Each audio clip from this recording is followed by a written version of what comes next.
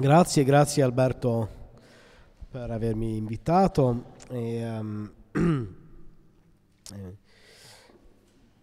possiamo partire dal, ehm, dall'osservazione che il capitalismo contemporaneo è, um, ha una preoccupazione probabilmente senza precedenti storici con, con la natura del valore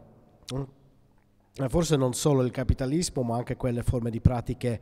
che in qualche modo si svolgono in opposizione o in autonomia ai circuiti di valorizzazione capitalistici,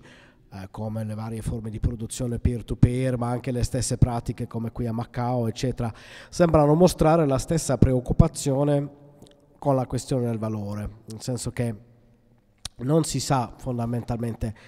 più che cos'è il valore, quanto valgono le cose e che cosa deve contare come ehm, qualcosa di, ehm, che ha valore. Mm? Questa è una preoccupazione che si mostra in tutta una serie di, di modi, da un lato a livello culturale, pensiamo a successi come Game of Thrones, come si chiama in italiano? Trono di spade? Trono di spade, eh? Che in grandi modi può essere in qualche modo letto come una rappresentazione fantasy televisiva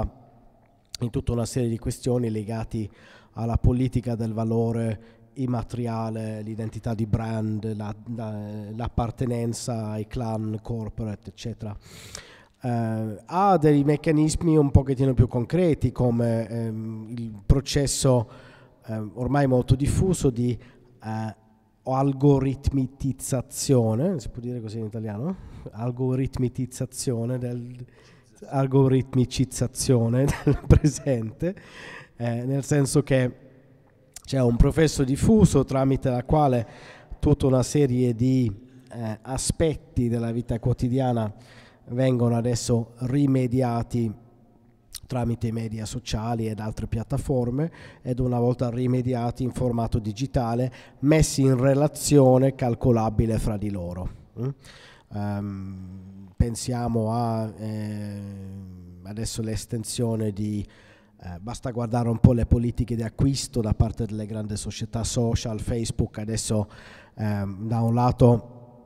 comincerà a trasmettere accesso all'internet da satellite eh, mirato alle persone principalmente in Asia e in Africa che ancora non hanno accesso. Um, e questo ovviamente vorrà dire che um, loro, il loro accesso all'internet, quello che fanno sull'internet verrà in qualche modo in qua, um, rappresentato e, e, uh, e, misurato da parte di Facebook,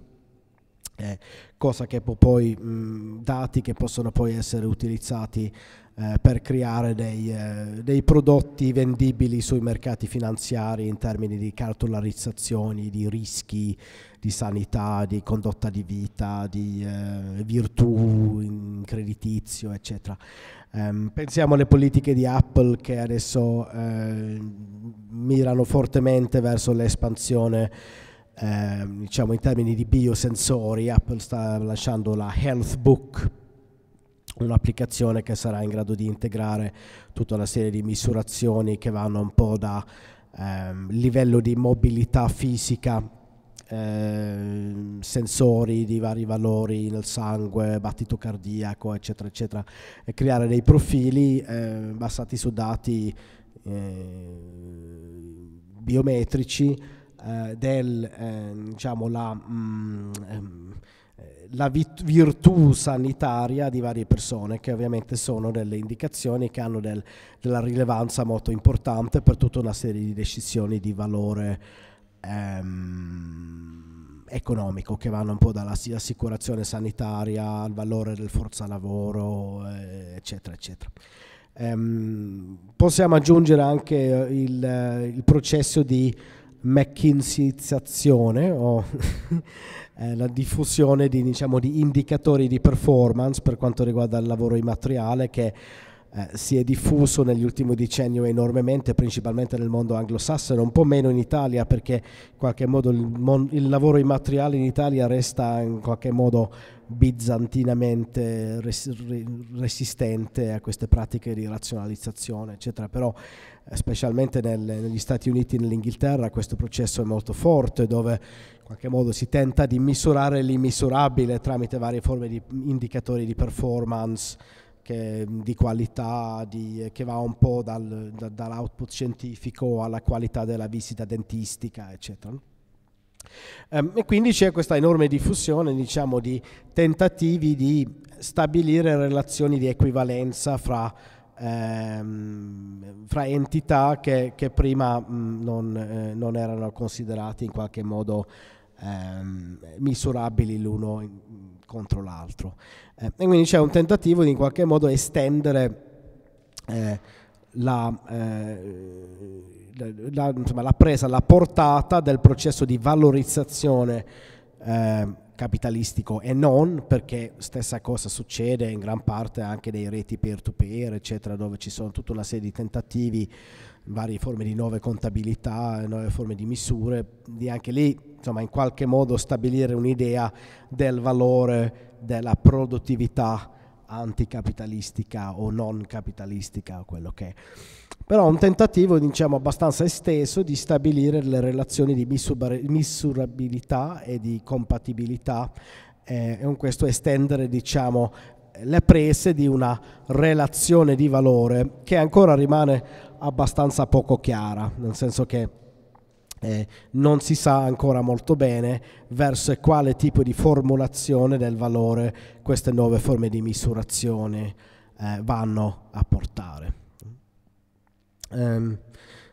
il motivo di questa, eh, di questa, crisi del valore in un certo senso, no? perché c'è un, un crisi del valore nel senso che che le vecchie forme di valorizzazione e misurazione non funzionano più molto bene, nel senso che non rappresentano mu- più molto bene eh, la, i veri processi di produzione di ricchezza. Eh, eh, ovviamente è qualcosa che ha a che fare con mh, la trasformazione di quei processi di produzione di ricchezza stessi. Eh, ed è qui che, avvien- che ha luogo, che, che comincia a essere interessante riflettere un po' intorno al concetto di pubblico. Perché in gran parte si potrebbe dire che dentro all'economia capitalistica e fuori dall'economia capitalistica eh, c'è una sorta di divenire pubblico della creazione della ricchezza, che è un processo che ha una storia abbastanza lunga ovviamente, ma che viene radicalmente accelerata con l'impatto delle tecnologie di informazione e comunicazione digitali. Um, e quindi c'è una sorta di spostamento successivo di una parte diciamo, crescente della produzione di ricchezza dalle organizzazioni ehm, dotate con le loro gerarchie, con i loro sistemi di controllo e misurazioni, a tutta una serie di pubblici che si manifestano in, in, vari, in vari, eventi, ehm, in varie istanze del sociale. Eh, I primi pubblici forse produttivi in questo senso si possono identificare già dentro alle grandi società, dentro alle corporation che negli anni 70 e soprattutto negli anni 80 eh, cominciano a stimolare l'auto-organizzazione del lavoro del sapere come modo di accelerare e rinforzare la sua portata produttiva, innovativa, creativa, eccetera. Ehm, però eh, abbastanza presto si verificano anche diciamo, uno spostamento del valore verso eh, dei pubblici che, siano, mh, che risieda, ris, risiedano eh, diciamo, più strettamente dentro al sociale, nel senso che eh, le relazioni sociali normali, quotidiani, eh, cominciano ad essere in qualche modo eh, mh, creatrici di valore. Um, uno dei primi esempi di questa cosa ovviamente è la crescita dell'importanza del brand, della marca che avviene a partire dagli anni 90 eh, in tutta l'economia globale. Ehm, e che si accompagna insomma, ad una, una, una, conoscenza sempre più diffusa che il vero valore della marca non è tanto una questione di design, pubblicità, eccetera, ma mh, fond, si fonda sulla capacità di coinvolgere un pubblico di consumatori che in qualche modo si dedicano anche appassionatamente a questa marca stessa, alle conversazioni intorno alla marca, eccetera. Ehm, oggi ovviamente il, eh, una, un secondo passo in questo senso che forse è più rilevante rispetto alla situazione di cui stiamo parlando adesso è dalla presentazione della ricerca poi di, che ha condotto Alberto insieme a noi e a, insieme a Macao sul, sul fuorisalone ehm, è ovviamente l'integrazione della creazione pubblica del valore dentro l'economia della città esperienziale o città creativa. No? Eh, che a Milano ovviamente ha una storia abbastanza particolare perché è il, diciamo, il, il secondo miracolo milanese, o il Milano da bere negli anni Ottanta, ehm, quello che segue dopo la deindustrializzazione di Milano, ehm, guida, viene guidata da mh, nuove, anche quello da nuove forme di creazione pubblica del valore. No? Abbiamo le, in, l'industria della comunicazione, intorno ovviamente al, al, miracolo berlusconiano, il fatto che Berlusconi è riuscito a quadruplicare la portata del, del, del mercato pubblicitario italiano durante i primissimi anni Ottanta e quindi questo dà nascita alle televisioni private, alle, a tutte le società di produzione di contenuti, pubblicità, comunicazione, che diventa diciamo un pilastro fondamentale della Milano da bere negli anni Ottanta. Ma poi intorno a questi c'è anche ovviamente le industrie creative, eh, stret, strettamente parlando, la, la moda e, la, e, il design. No? Um,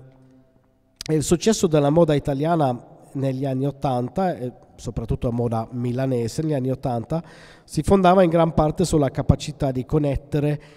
da un lato delle tradizioni artigianali di produzione materiale, cioè i distretti industriali di produzione tessile italiano, con un, diciamo, una creatività pubblica dei pubblici urbani di innovazione affettiva, di stili di vita, eh, e di, ehm, di, forme espressive che avvenivano dentro la città stessa. Quindi in questo modo uno potrebbe dire anche che, che, già la moda italiana in qualche modo, a partire già da Fiorucci negli anni 70, con poi Armani, Dolce Gabbana, eccetera, negli anni 80, è uno dei primi esempi, diciamo, nel contesto italiano di un, eh, di un insomma, di, di, un, di, una messa al lavoro di quella creatività pubblica che in qualche modo si traspira in questi reti abbastanza diffusi dentro al contesto urbano e cioè, la capacità di trasformarlo poi negli anni Ottanta non tanto in brand ma in innovazione materiale, cioè innovazione stilistica, innovazione in termini di prodotti, di vestiti da vendere. Mm? Um, ovviamente questa fase è un po' prima fase della moda italiana dove, ehm, eh, dove in qualche modo le società di moda italiana fanno soldi creando, eh, cioè mercificando l'innovazione affettiva della città stessa, cioè f- producendo quei tipi di vestiti che, che la popolazione urbana eh, dalle quali prendono ispirazioni ehm, vorrebbero in qualche modo indossare e poi esportando quei vestiti con uno stile di vita anche annesso eh, al resto del mondo, prima a New York e poi da New York diciamo ad un livello globale. Eh, quella prima fase diciamo della moda italiana come qualcosa che, tras- che, che trasforma una creatività urbana pubblica in dei prodotti materiali eh, viene poi diciamo, eh, seguita da una fase eh, dove la funzione di questa produttività pubblica diventa quella di generare non tanto prodotti materiali, vestiti, ma brand.